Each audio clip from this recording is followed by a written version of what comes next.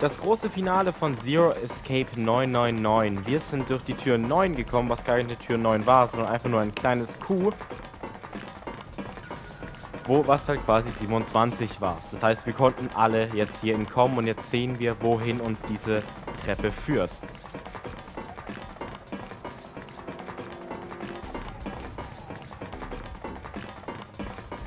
Endlich.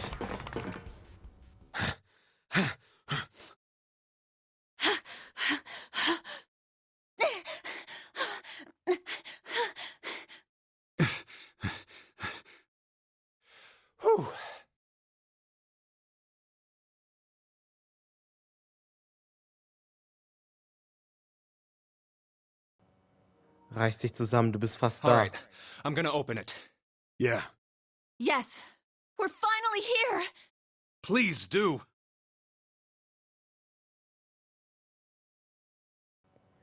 Sicher, du siehst, du siehst wie eine schwere, äh, du siehst wie eine große, schwere Tür aus. Aber du bist das Einzigste, was zwischen mir und meinem, meiner Freiheit steht. Aber noch viel wichtiger ist, dass du das Einzigste zwischen mir und Akane bist. Du wirst öffnen und du wirst dich genau jetzt öffnen.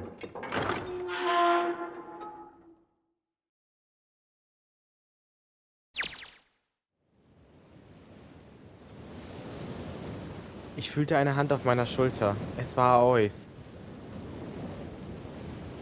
Ich war so glücklich. Ich fühlte mich, als könnte ich schmelzen. Mein Herz war, war, war- in Frieden. Und nicht nur, weil mein Bruder und ich zusammen waren wieder. Dank dem großen Detektiv konnten alle neun gekidnappt, die neun, die gekidnappt wurden, endlich von der Gigantic fliehen. Im Horizont konnten wir, konnten wir das Schiff sehen, wie es sank.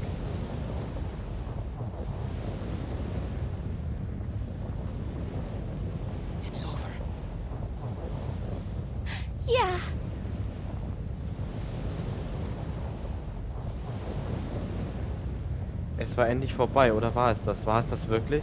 Nein, das war falsch. Das war's noch nicht. Ich war mir sicher. Das war nicht das Ende. Es war erst der Anfang. Das war nur ein Prolog. Zu dem, was neun Jahre später passieren würde.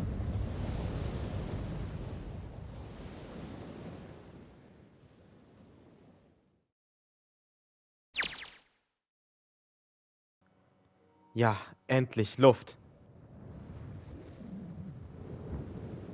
Verdammt, ist die Sonne hell. Ich kann kaum etwas sehen. Das heißt, ja, wir waren gar nicht auf einem Schiff.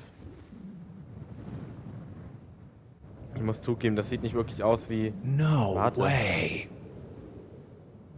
Du, musst, du willst mich What? verarschen. It can't be. This is.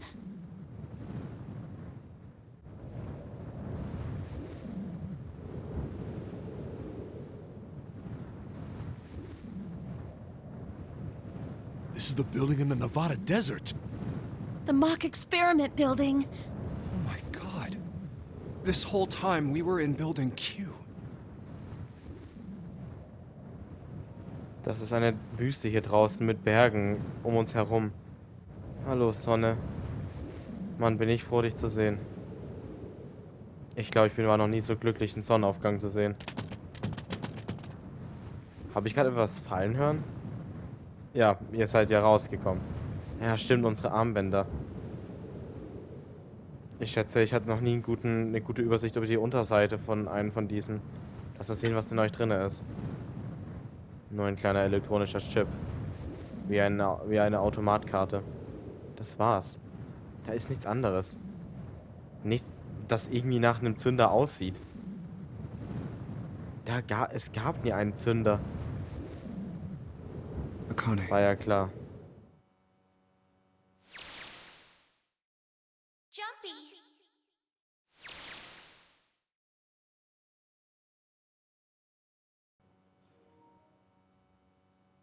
Ich schätze, ich muss ziemlich verrückt nach dem Mädchen sein, wenn ich schon ihre, ihre Stimme im Wind höre.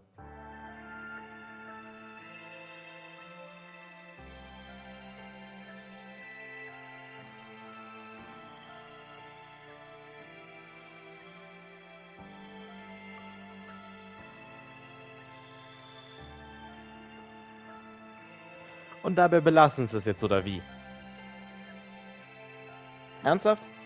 Dabei belasst ihr es? Puh, also das war jetzt gerade echt schwierig mit dem Ende, ne? Das, also ich meine, es macht schon irgendwo Sinn. Aber es war halt auf einmal sehr verwirrend alles. Also das auf jeden Fall. Hat das Spiel jetzt nicht unbedingt schlechter gemacht, nur ich muss mich wahrscheinlich noch ein bisschen die Story-Recap reinlesen, um genau zu verstehen, was es eigentlich, weil zu dem, was ich halt mitbekommen habe, ist halt, okay, wir konnten jetzt irgendwie mit Akane aus der Vergangenheit kommunizieren, per diesen Dings, wo man Informationen übertragen konnte, was ja da trainiert wurde, was ja dort äh, versucht wurde in diesem Experiment. Ähm, es gibt auf jeden Fall noch zwei andere Teile, die werden wir auch noch spielen. Einmal äh, Zero Escape 2 Virtue's Last Reward. Das werde ich auf jeden Fall noch anfangen. Ich werde mal gucken, ob ich es durchspiele, weil ich meine, an sich ähm, normalerweise schon. Es funktioniert genauso wie der erste Teil, dass man quasi jedes Ende spielen muss. Nur, dass es im zweiten Teil deutlich mehr Endings gibt. Wovon ich nicht mal weiß, wie viele Endings du brauchst. Weil da steht dran, irgendwie 10 Endings gibt's. Aber es gibt zusätzlich auch noch Bad Endings. Und ich habe keine Ahnung, ob man die auch noch braucht. Vermutlich aber. Ja, ich hoffe einfach mal, dass jedes, jedes Ende einfach wieder ganz unten angezeigt wird. Wie beim ersten Teil, dann wird man ja wissen, was die Endings sind. Nicht, dass es irgendwie mittig irgendwann kommt und du keine und du irgendeine Entscheidung treffen musst, das wäre nämlich bescheuert, weil das war in dem Spiel ja auch nicht so. Du musstest halt nur die Türen, das waren halt immer deine Endings, aber nie so eine andere Entscheidung. Oh. Are you okay? Oh, come on. Uh, this is nothing. Really? Yeah. You don't look okay. Es war am Ende der Grundschule. Jumpy und ich saßen nebeneinander auf, einer, auf einem kleinen Hügel und blickten über die Stadt, als die Sonne How langsam does it look unterging. then? Er war halb äh, seriös und halb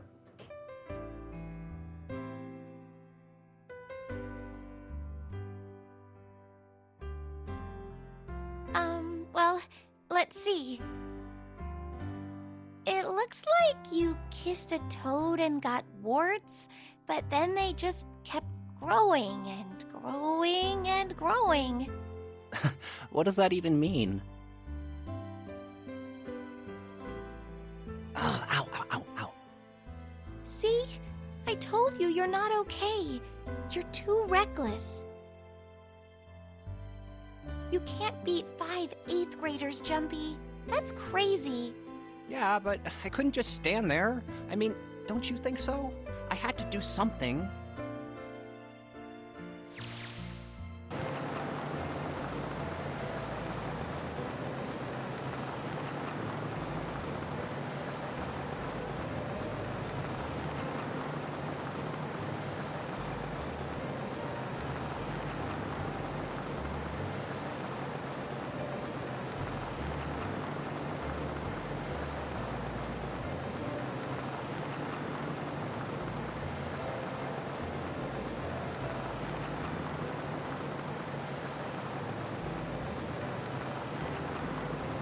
Woohoo! This is so fun! This is so awesome! Driving is so great when there's nothing around, and there's no speed limit. Hey, uh, Clover, watch those bumps, all right?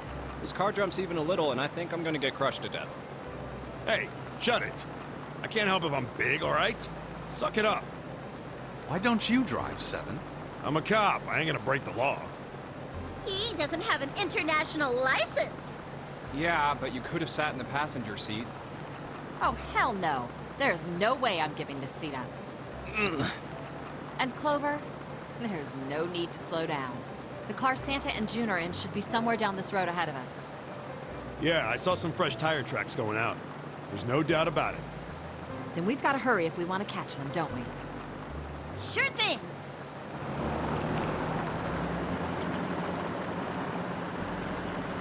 Verdammt, sie muss doch nicht so schnell fahren. Also finde ich jetzt super cool, dass die Clover hier fahren lassen. Halt die jüngste von allen. Mann, ich wusste nicht mal, dass ein Auto so schnell fahren kann. Wir hinterlassen auf jeden Fall sehr viel Staub.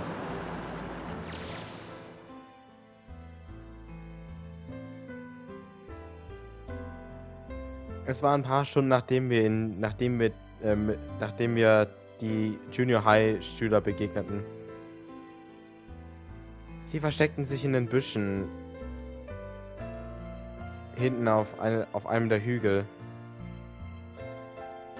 und übergaßen ein, ein Kätzchen, ein, also eine Babykatze mit, mit äh, Benzin. In dem Moment, wo wir das sahen, ist Junpei wütend auf sie zugerannt.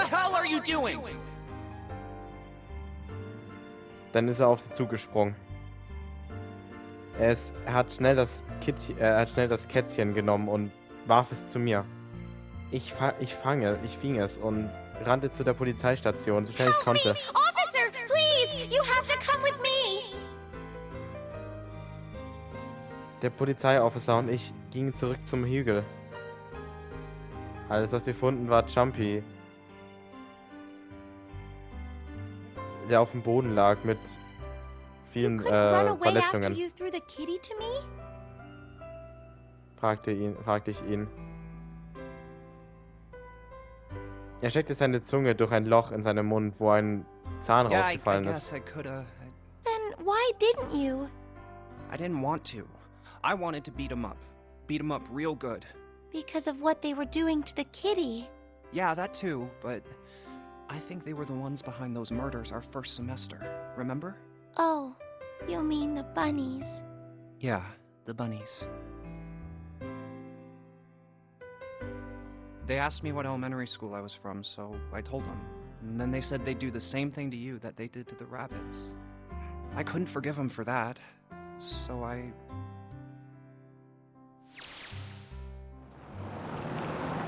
Hey, uh, there's still some stuff I don't get. Aber natürlich wissen sie wahrscheinlich mehr als ich, Like als ich weiß. Well, I guess I should say Guitaro Hongo. Why did he create the Nonary Project? Was jetzt überhaupt mit Santa und Ace eigentlich passiert? Anybody? Any ideas?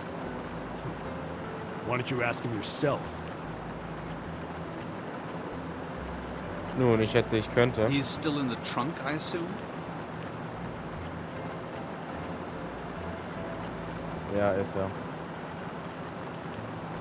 Immer noch äh, gefesselt und mit seinem Mund bedeckt. Seine Augen sehen einfach nur leer aus, keine Emotion. Er, s- er sieht so aus, hätte er einfach aufgegeben. Ich frage mich, ob es ihn überhaupt interessiert, was mit Hey, ihm noch passiert. listening to us? Ja, tu nur so, als hättest du das nicht, du alter Bastard. Tu mir mal das Tape von deinem Mund. Come on, I know you were. Answer me.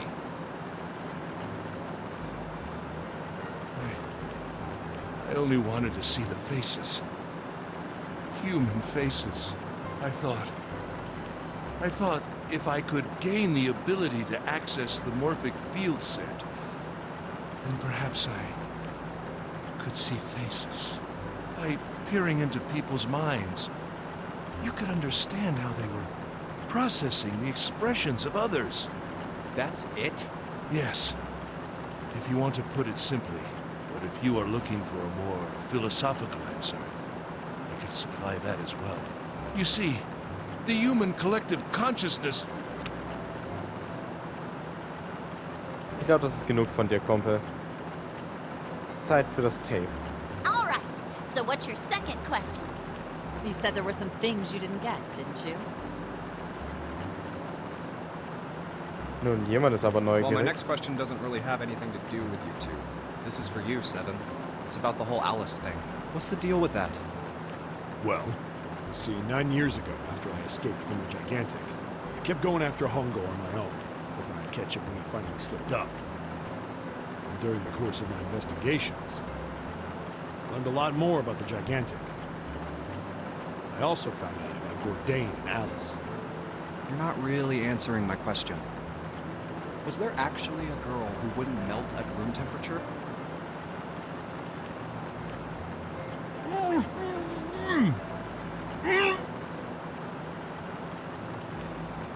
Scheint, als hätte Hongo etwas zu sagen. What? Alice doesn't exist. Nine years ago, I found Alice's coffin behind the library on the bottom deck. There was nothing in it but the root of a peculiar plant. My research determined that it was a member of the genus Mandragora, of the family Solanaceae. I was able to extract a particular alkaloid from it. I used that extract to create Soperin. Its creation was a tremendous boon to my firm, and we Das heißt auch was übersprungen, scheiße. Scheiße, das wird ja immer weiter, das wird ja immer weitergehen. Das Tape kommt zurück, Kongo. Der Rest, die restlichen Fragen können noch warten. Jetzt werde ich einfach die Fahrt genießen. Here, uh, this is for you. What's this? This is a for you doll. Uh, his name is Junpei. Ja, die, die Puppe, wo sie dann suchen gegangen, gegangen ist. Jumpy zog, zog etwas aus seiner Tasche und äh, schub, äh, schub seinen Arm gegen äh, äh, zu mir hin. Reichte seinen Arm zu mir hin. In seiner Hand war eine Puppe, die aus Wolle gemacht wurde, die klein genug war, um in seine Handfläche zu passen. Are you sure it's, uh, for you, doll? Huh? Uh, yeah, the, the lady at the shop said so, so th- that means it's for you, right?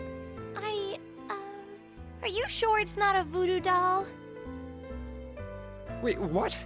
That that's oh man. Oh man. well, it sure looks like a voodoo doll. I mean, you do know what a voodoo doll is used for, right? Yeah, I, I guess calling it Junpei isn't a very good idea then. Why are you giving me this anyway? It just seems really sudden. Uh, well, um, you, you know how after June, um, we aren't gonna get to see each other too much? I mean, we're gonna be in different schools, and I just thought I'd, uh, you know, um, Oh, okay, well, how about we call it June then? okay. So, uh, I wanted to give you this.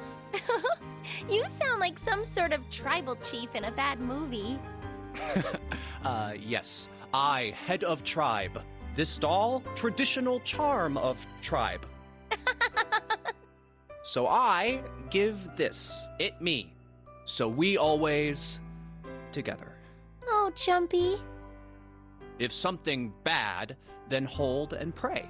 I go wherever you are. So here, take.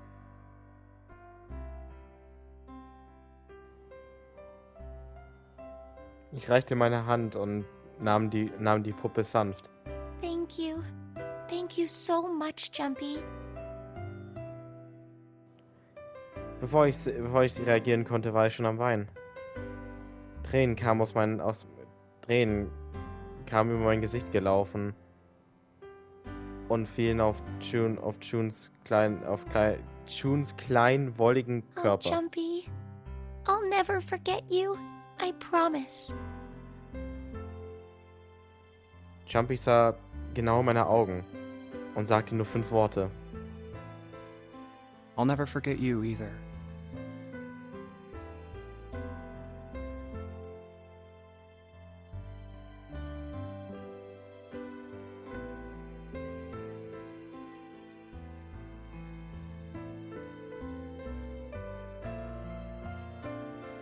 Wir saßen im Sonnenlicht, im warmen Licht des Abends, nur wir zwei an, aneinander gelehnt, Schulter zu Schulter.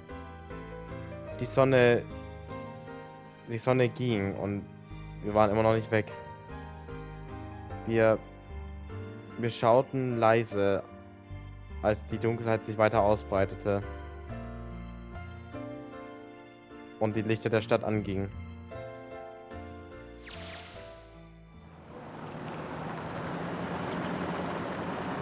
Da gibt es immer noch eine Sache, die ich nicht verstehe.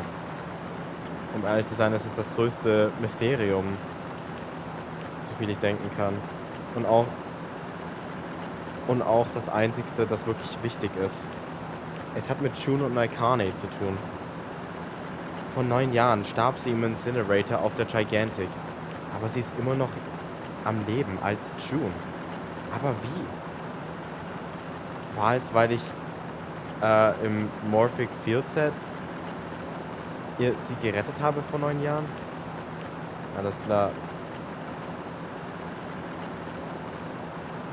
Sagen wir einfach mal, es macht ein klein bisschen Sinn. Wenn ich das tat, dann... Wie macht das dann... Wie stimmt das dann mit dem, an das sich Seven erinnert, überein? Snake macht... macht... Snake macht Sinn, er ist blind. Er konnte ihre Leiche nicht sehen. Aber Seven... Er sagte, er war sicher, dass er es sah.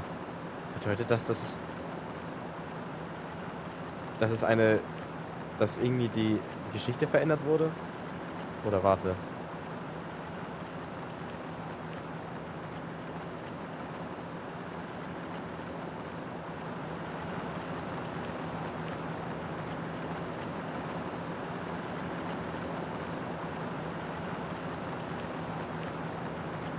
Hey, look!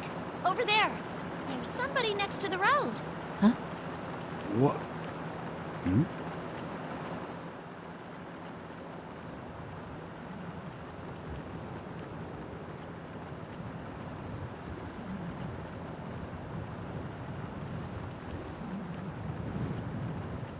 Wer zum Geier ist das?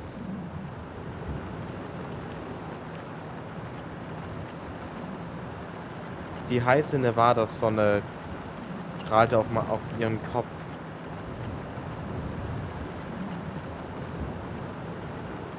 Dort stand eine Frau mit ihrem Arm ausgestreckt und einem Daumen nach hoch zeigend. Es würde nicht lange dauern, bis Trimmy realisiert, wer sie ist. Das war Alice, oder? Alice. Das war doch Alice, oder? Ja klar, die wird ja nicht älter, ne? Das wurde doch irgendwie gesagt, dass die für immer so schön bleibt. Okay, what the fuck? Und sie ist jetzt hier. Okay. Interesting. Fucking interesting. Und das war's. Zero Escape 999. Also Zero Escape Volume 1 heißt es ja sogar. Ja, genau, jetzt wird auch das Coffin-Ending angezeigt.